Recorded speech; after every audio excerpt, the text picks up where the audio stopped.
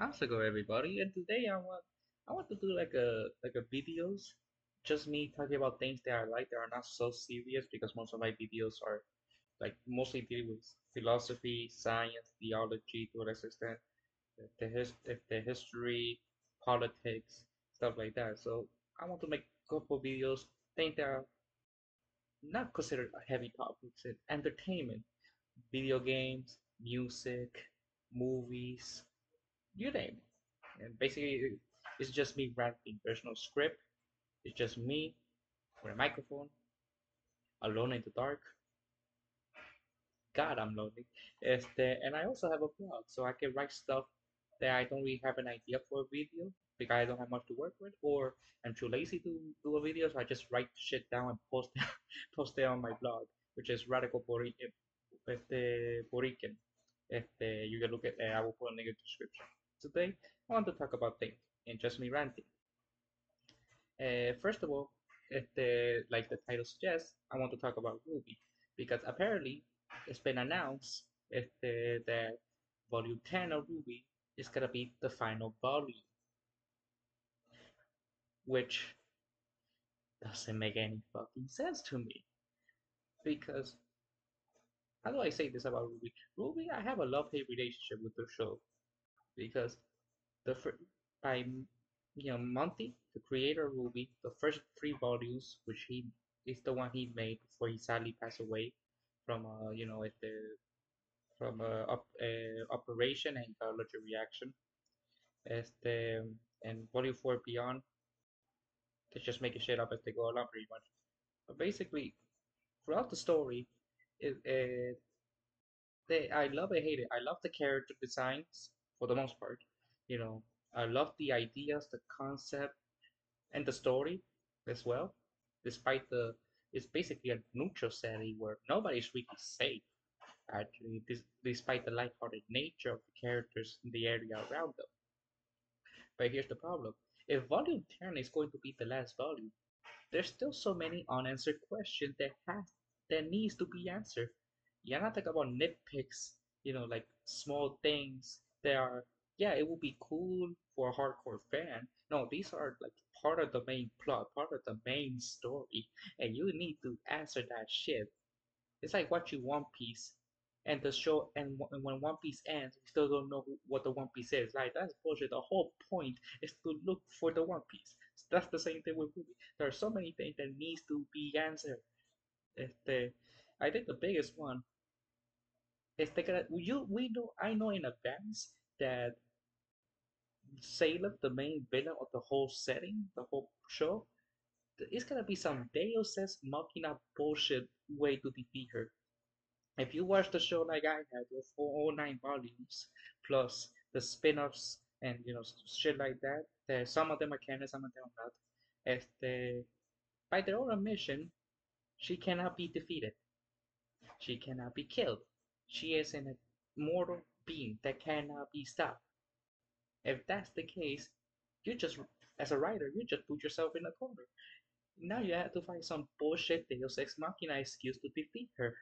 Unless you do a shocking ending where the villain actually wins at the end. That would be surprising if they actually do that, if they had the balls to do that. But you know they're not gonna do that. But the main problem is the writing, especially after volume three, because they introduce so many fucking characters early on in the first two volumes that we never really have time for Ruby. The- you know, the show RWBY, our main character is called Ruby Rose. She doesn't have a character development until volume nine, and even then, she wasn't even the focus. It was Jaune. He got character development twice. Like he's technically the main character of the show, not Ruby. Jaune. Like Blake had a character development. Uh, Jaune, este, not, uh, Yang had a character development. Uh, Weiss had a character development.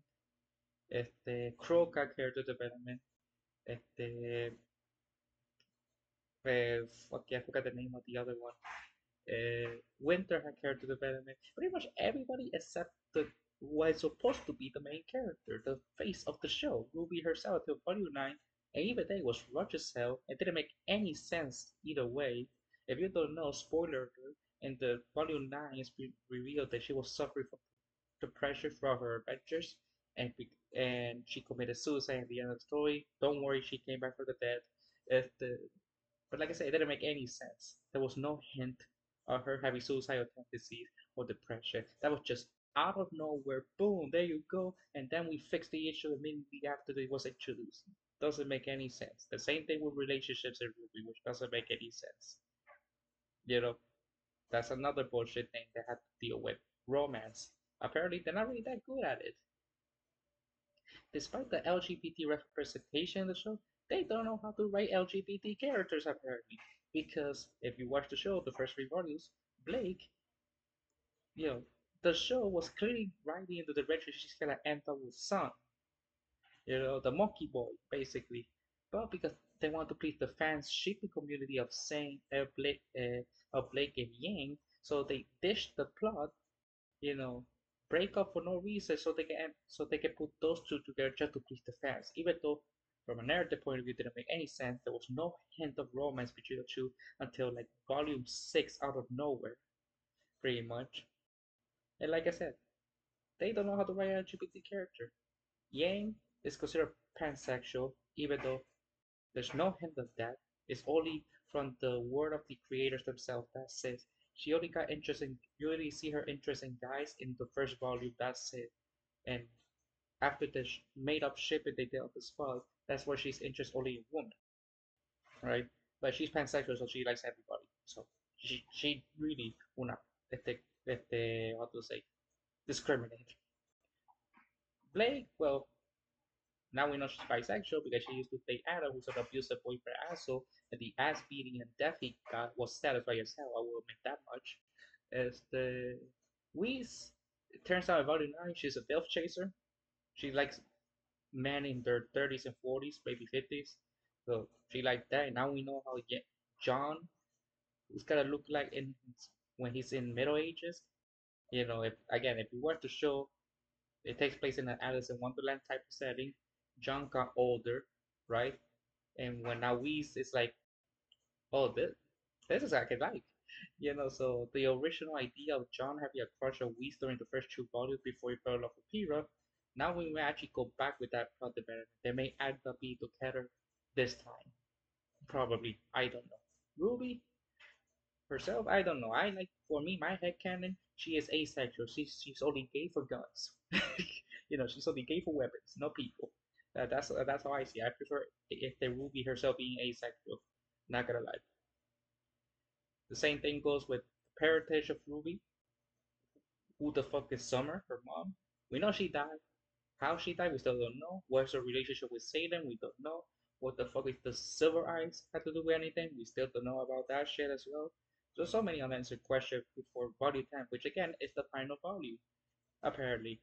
So there's so many unanswered questions. What happened to Ruby's mom? Is Qrow actually Ruby's biological dad? That is her favorite fan theory.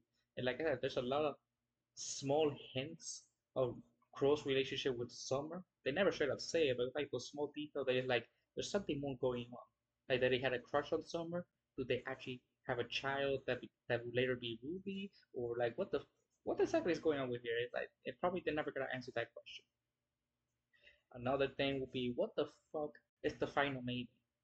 You know we have a summer, winter, fall, and spring, right? We know este out of we already have three out of the four maidens, so there's one maiden missing. So they have to introduce that part for the final volume. There's another relic that's missing. There's an entire country and the entire map still have been explored, and that's annoying the fucking island that looks like a fucking dragon, which I will not be surprised. That's where Salem lives, right? Like there's so many fucking shit that had needs to be worked on. Right? Este now winter has to be more important to Puppy because she's the winter maiden. Haha. Her name's Winter, Winter Maiden, get it? Este so yeah, este she had to be more in the plot now because she has to at this point. The same thing goes with other fucking thing like the silver eyes of Ruby. What the fuck does that mean? That for some reason doesn't bother to explore that for ninety percent of the story. The same thing goes with the lore and world building. That's another head scratcher, right? There are many religions in RWBY, apparently, right? Some of them are monotheists, some of them are polytheists, judging by the language they use. Ruby and Yang, apparently they were raised monotheists because they say, oh my god. Well, some characters said by the gods, so they imply there are polytheistic religions. Right? But as we know, now we know later in the series, the actual gods are true gods who are brothers, right? And the assistance of maidens debunks every religion that doesn't worship the true brothers. And apparently, with this revelation, it's kept secret for everybody. So only the main characters like Ruby, Yang, Weiss, Blake, Qrow, Raven, Ozpin, and anybody in uh, Ozpin's inner circle knows the truth because Ozpin was fucking there. That's another fucking thing. And now we know the afterlife looks like. It's basically Alice in Wonderland setting, right? the Salem.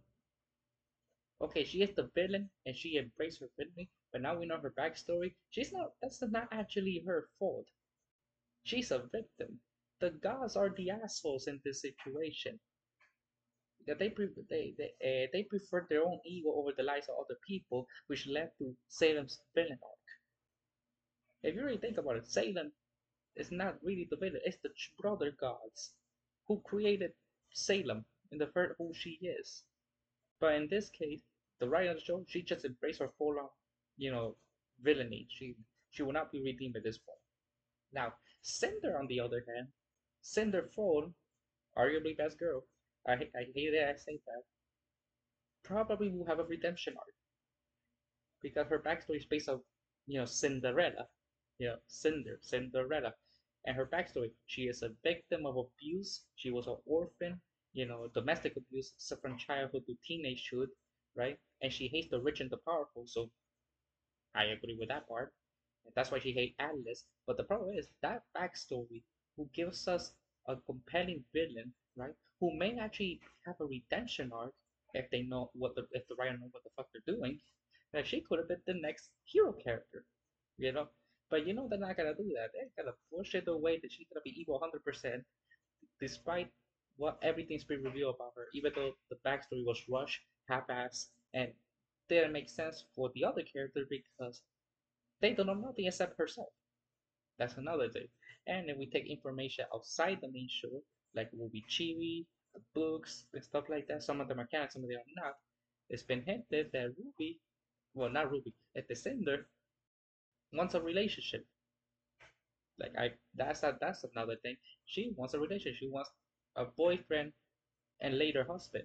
So, for all we know, in the end of the story, if he doesn't get killed or becomes the next major bidder replacing Salem, for all we know, she may actually end up with somebody, whoever that is, and how that's gonna work out. That's beyond me at this point. If the probably if they're gonna make a sequel series like Boruto shit, she may have her own child. And she, that old child, either they gotta do the Harry Potter twist where the children of the villain join for is friends with the heroes, or it's gonna be like a, you know, bullshit like that. I don't know how that's gonna work. Probably, maybe, kind of. Like I said, oh my god, the show is a mess after volume three. That's the main thing. That's why even the fan fiction did a better job of fixing many of the problems of the show, which that's another thing that has to be acknowledged. That they, they talk about it, but they never show it in the show itself. Racism against Faunus. That's another bullshit thing. How you gonna talk about that and never actually explore that? Like only one scene where it says no Faunus allowed, and maybe like one or two scenes in the first volume where you see a flashback of Blake as a kid protesting for Faunus right, but that's it. Like that doesn't show any hints of actual discrimination, despite the fact that according to Blake, you know, it's a common problem. Like there is a civil rights movement for Faunus, but we don't see that. We don't see nothing about that. That's another bullshit. We focus too much of everything except when it's supposed to focus. We focus too much about the fucking, you know, Alice in Wonderland subplots. We focus too much of the romance of characters that are not even important to the plot. We focus character developments of characters who are not even the main character, they're secondary characters. And Jaune have his own character development twice in a row with de facto unofficially the main character of the story. Like there's so many bullshit stuff that has to be expressed that Ruby needs to fix. Because like I said, I hate the idea that volume 10 is the last volume. like I said, there's so many unanswered questions. Ruby's parents. How they can Deus Ex Machina push approach to defeat Salem. You know, Cinder, will she have a redemption arc or not? You know, the Silver Eyes, the missing maiden, the missing relic, the other country that hasn't been explored. There's so many bullshit things that have to deal with. And yet, somehow, someway, that's not gonna happen. What the fuck? Ah! This is why this is why you, uh, entertainment can be fucking difficult at time when you want to be consistent a consistent writer at all. If you take entertainment seriously as I do, like bro, I'm a you don't know my personal life. Well, I have to say I'm a hardcore gamer and a cinephile. Like, I like shows with good ass writing and writing that is consistent. And this show is not one of them, despite my love for the show. So that's just me ranting for 16 minutes, and I may rant about something else in the future. So link in the description. Bye.